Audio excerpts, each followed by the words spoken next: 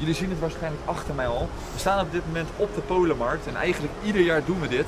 Aan jullie laten zien wat ze hebben. We zijn net de grens overgegaan. Er was ook politie te zien. Dat zien jullie nu. Ja jongens, we gaan de brug over. De welbekende brug. Omgevallen Eiffeltoren. Hoe vaak zijn we hier geweest aan het begin, Jordi? Deze vibe is wel altijd dik. Zo. En dan Deze straks aan de linkerkant zit, die, zit die, aan de linkerkant zit zometeen die, eh, die markt. Kijk, we zijn in Polen als je veel filmt. Dus we zitten niet in Nederland, jongens. Kijk, en de politie is er wel, hè? Kijk maar. Oh ja, die staan er wel. Die, zien we niet, die hebben we niet vaak gezien. Dus inderdaad, hou maar een beetje laag, die cam. Even één moment laag, want we, vallen, we zijn al Nederlanders, dus we vallen op. We staan nu dus voor Vikov. Eh, zoals beloofd, we gaan even naar binnen kijken wat ze hebben. En Vikov wil altijd wel dat we filmen. Die vinden dat altijd wel goed. Eigenlijk misschien wel iets kopen om af te steken. Maar ik wil even een grote disclaimer naar jullie maken, jongens. Neem niks mee naar Nederland. Want jullie hebben net gezien bij de grens. Er staat gewoon controle. En als je bijvoorbeeld een pakje nitraten meeneemt, ben je gewoon echt de sjaak. De- We hebben vaker deze trip te horen gekregen dat als je dus bijvoorbeeld categorie 4 hebt en je wordt gepakt, ook in Polen, dat je gewoon de gevangenis in moet. Omdat dat sinds 2019 Onder de wapenwet valt. onder de wapenwet valt en dan ben je echt de sjaak. Ja jongens, we zijn op dit moment bij Vikov zoals beloofd. Hij zei net tegen ons dat we hier mochten filmen en dat we ook naar een andere winkel mogen. Maar jullie zien het al. Ja, ik kan daar even de parfum filmen. Niet naar boven. Nee. Maar, eh, Krijg gelijk een ban. In ieder geval erotische artikelen. Ehm, je ziet het al dus. Vlak bij de parfum zie je ook gewoon vuurwerk. En ze vinden het geen probleem dat we filmen, terwijl in een andere shop word je echt uitgescholden. Ja, bizar hè, dat verschil. Maar ja, hun zeggen ook eigenlijk van ja, wij hebben niks te verbergen, dus kom maar op. Daar komt het eigenlijk op neer. Dus eigenlijk komt het erop neer dat als ze daar zo op tegen zijn, dat ze dan iets te verbergen zouden hebben. Ja. Zou je denken in ieder geval. Hier hebben we bijvoorbeeld knallers. Heel oud. Die, zijn, die waren er denk ik al toen wij er ook waren, een paar jaar geleden. wel. Huh. Pijlen. Nou, hier allemaal kleine cakejes. En op zich is het wel grappig. Want het is gewoon Argento en Funke. Want jij staat nu letterlijk tegen Funke aan. Ziek hè? Heel dik. Maar ook heel duur. Moet je kijken, 41 euro. Ja, maar jongens, Voor- het voor valt ons echt op dat in Nederland en België vuurwerk Ja. goedkoper is dan, in eh, dan hier. zo on- ontzettend duurder geworden ten opzichte van andere jaren, jongens. Het is bizar. Maar goed, misschien is het ook inflatie en zo en de, de, de kosten die ze gemaakt hebben. Ehm, benzine, toen wij hier kwamen een paar jaar geleden was het 95 cent. Jullie kennen de alle oude beelden natuurlijk nog. En nu zitten we op 1,53. Dat is ook al een stijging van eh, meer dan eh, 60% zo. ja, 50, 60 procent. Dus dat is ook echt bizar. In die paar jaar tijd, hè. We hadden echt eh, rijk geweest als we toen allemaal benzine hadden ingeslagen. Zie je iemand mee naartoe? Want hier heb je knallers, jongens. En onder andere ook deze, moet je kijken. Kometenbomben. Die zijn mooi hè. Ja, dat is ook ziek. Kijk, hier heb je ook eh, alle, al die nitraten en zo. Hele oude Zena-crackertjes. Ze hebben hier wel altijd heel veel nitraten hè, moet ik Ja, zeggen. klopt. Maar dat is ook maar natuurlijk wow, ook het meest, dit is natuurlijk ook het meest populair bij, bij de Duitsers. 18 euro, Ja. alsjeblieft. Hey, Tuono. Tuono Blue. T- TB5, ja. Dat is ook altijd Superdik. onze, onze... Maar dit ook jongens, dit, dit zijn geen prijzen die wij gewend zijn. 20 euro voor 10 stuks. Kom op zeg. Ja, dat is zeker zo. Kijk, en verder zie ik niet hele interessante dingen waarvan ik zeg, oh zo, dat is echt heel ziek. Bijvoorbeeld Zena, Ugly Joe's zijn we nog steeds naar op zoek van de Ugly Joe's. Zijn die, eh, nou, die zijn natuurlijk niet meer eh, te, te koop, alleen zouden ze zo graag een keertje hier willen tegenkomen. Maar ook, hè, Mies, moet je dit zien. Een soort stroboscopen zijn dit. 16 euro. Ja. Jullie zien het goed, 16 euro Hey, maar deze, deze ken ik voor niet, man. drie stroboscopen. Kriklin Bum Bum. Die ken ik niet. Ik inderdaad niet. Even een pakje van meenemen en zo meteen even afsteken. Ik denk dat we nu even naar de andere shop gaan van hem. Want hij heeft ons eigenlijk gezegd dat dat een betere winkel is. Staat alles beter uitgestald. Dus let's go. Oké jongens, zoals jullie zien, we staan hier op de markt met de welbekende tankstation naast het vuurwerk. Eh, wat Vikov er net dus ook vertelde, was dat er dus een nieuwe regel is dat het vuurwerk officieel niet meer op de markt zo gestald mag staan. Ze zijn dus bezig met vitrines en eh, dat zorgt er dus voor dat de oude beelden die we hebben, die we kennen hier, zo dat alles gewoon open en bloot staat, langzamerhand gaat verdwijnen. Ook logisch ergens, want je hoeft maar een gek met een, eh, met een sigaret langs te lopen waar een vonkje op komt. En gewoon heel die shop die gaat gewoon in, eh, in lichte lei. We zijn uitgenodigd dus om naar een andere shop van hem te kijken. Die beelden hoe jullie nu gaan zien is misschien wel de laatste keer dat jullie hem zo hebben gezien. Of gaan zien.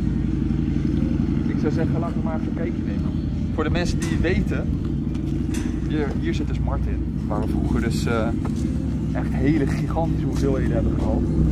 Mochten we daar nu mee gepakt worden jongens, zitten we locked op. Komende twee jaar geen video's. Hier heb je zelfs Wolf. Kijk, alles Nederlandse tekst. Nog voor?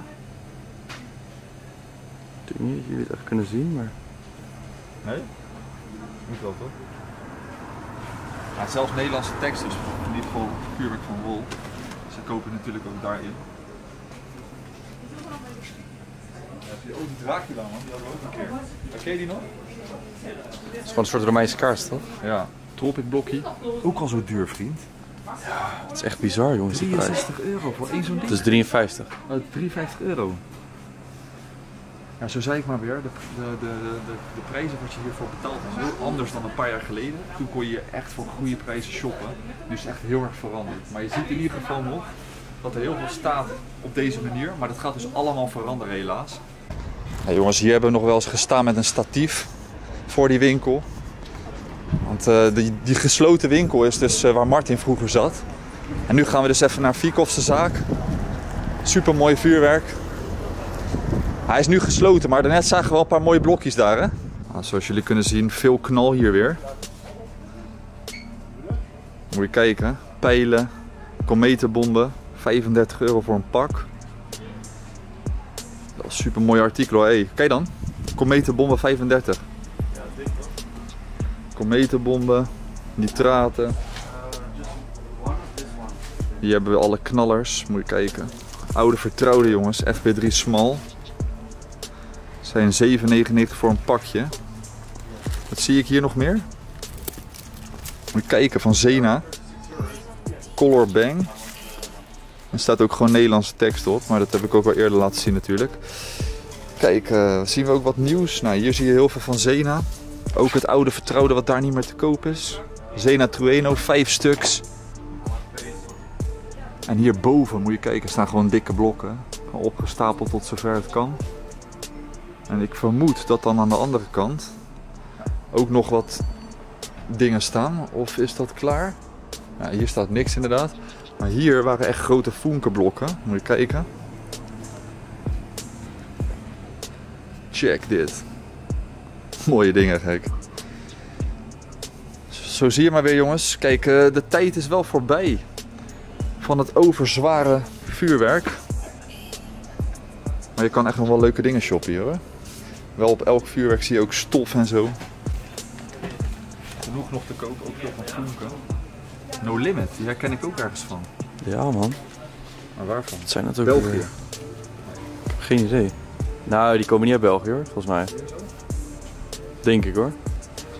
Hier is het ook wel grappig om te zien, man. Hier zie je echt gewoon eh, grote blokjes ook staan. Maar deze staan er ook al lang, vriend. Ja, je ziet gewoon heel die doos aan, gewoon Ja. verkleurd, jongen. Maar zelfs, zelfs de prijs kan je niet eens meer lezen. Nee, ja, maar dat willen ze ook niet meer hoor, voor die prijs te verkopen. Hier, die Dumbum is gewoon een eh, aangepaste variant, gek. Dus alles. Je ziet het jongens, ik weet niet hoe laat het is, weet jij dat Jordi? Alles is een beetje aan het sluiten man, vijf uur ongeveer. Je ziet het, iedereen die stopt ermee. Dus ehm wij moeten ook maar weg man. Het blijft hier te koop in Polen, maar het is zo anders dan dat we een paar jaar geleden waren. Maar wij liepen vroeger, kwamen we hier wel eens om 6 uur aan op de markt. En dan kochten we wat lawinepijlen. En dan ging er gewoon afgestoken worden s'avonds. Maar het is nu zo, ja, ze houden zich gewoon echt aan de regels van hier. Het begint trouwens een beetje te regenen man. Ja. Dus als kloten. Ja, we gaan even terug naar de auto. We hebben namelijk wel wat leuke dingen geshopt. Maar dat gaan jullie dan later in een eh, stookvideo zien. Het is in ieder geval eh, ja, weinig nieuws. En ik denk eerder dat de volgende keer dat we hier komen, dat er heel veel veranderd is qua dat er vitrines zijn neergezet. En dat het vuurwerk niet meer zo open en bloot staat. Ja, jongens, hier is ook vuurwerk, moet je kijken. We gaan niet bij alle winkels filmen. Want we weten niet of het mag. Nou, hier hebben we zo vaak gereden. Ossino Dolny, jongens. En zoals ik al zei, mochten jullie in de gelegenheid zijn om hier, hier eh, wat vuurwerk te kopen bijvoorbeeld, zou ik echt alleen maar het vuurwerk hier houden. Niet meenemen naar Nederland, want ook in Duitsland, die straffen die erop staan, is gewoon echt niet te doen. Daarom hebben wij de hele achterbak vol. Nee, geintje natuurlijk. Ik pak even jouw grap af.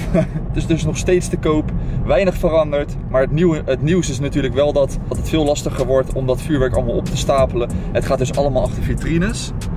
Ik moet eventjes voor de gein. Ik moet even voor de gein ook even hier laten zien. Want dit zijn ook hele oude beelden waar we wel zijn geweest.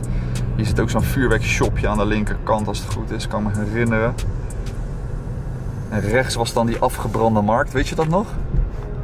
Ik kan je het niet meer herinneren. Dat is echt al lang geleden. Dat is 6, 7 jaar geleden, man. Kijk, hier rechts zit die afgebrande markt, man. Die toen afgebrand was. Hier, dit is die markt. Alleen verkopen ze dus geen vuurwerk meer. Maar als het goed is, zien we daar wel vuurwerk. Kijk maar, denk ik. Of is het met, alleen met auto, richting Auto Nieuw? Ik zie het nu niet. Nou, dit is dus een beetje de oude locatie waar we altijd verbleven. Totdat we op, uh, op een plek waren waar we opeens, waren gepakt. Toen zijn we eigenlijk hier nooit meer teruggekomen. En dat zullen we ook niet zo snel meer doen. Want die agenten hier, die herkenden ons gewoon. Ik hoop dat jullie het leuk vonden om naar deze video te kijken. Vikov uh, was eigenlijk de enige die best wel uh, ja, erop stond dat we konden filmen. Thanks voor het kijken jongens. Vergeet niet te liken, vergeet niet te abonneren. En binnenkort veel meer video's vanuit Polen. Later.